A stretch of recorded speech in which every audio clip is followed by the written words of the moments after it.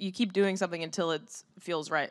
And so we were still open to changing things, and we were meeting with a lot of actors, um, a lot of male actors who were very talented, but they all seemed very uncomfortable with not just the sex scenes, but the idea of sharing a lot of intimacy and like a lot of the things we were talking about, keeping it fresh, actually sharing personal things to make it feel very real.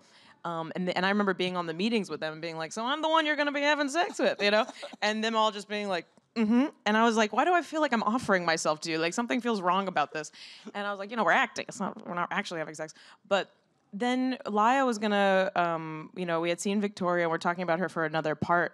And then once we had Skyped with her, we just realized she was Sergio more than anyone. Um, so it's like, yeah, we we made it into a woman, but it was like Laia was Sergio. So that's what changed it. And then it solved all these problems in the script. All of a sudden we're like, great, we don't have to see a penis on camera as much as we didn't want to anyways.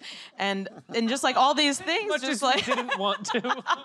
but like and it wasn't about like men versus women and male dynamics versus females. Like we'll never figure each other out. Like that's not what the story was about. It was about two people.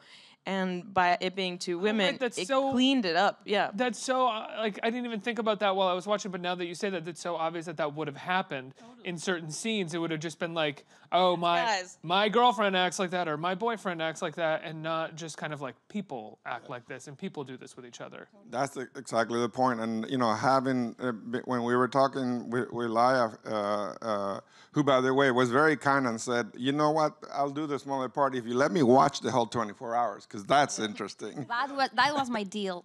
I I want the supporting role only if I can watch the 24 hours. If not, I'm not interested. And suddenly we realized, isn't that Sergio, the spirit of Sergio? Like, uh, uh, so uh, uh, I was, we were very nervous to ask her, "Will you be Sergio?" But fortunately, she she said and then I did the 24 hours, and I was so mad at them because they didn't want to repeat it. We were like, we got it. She was like, let's go again. We have to do it again. We don't got it. Before we even it, finished the 24 hours, you were like, we're gonna do this again though tomorrow, right? I was like, let's see what happens.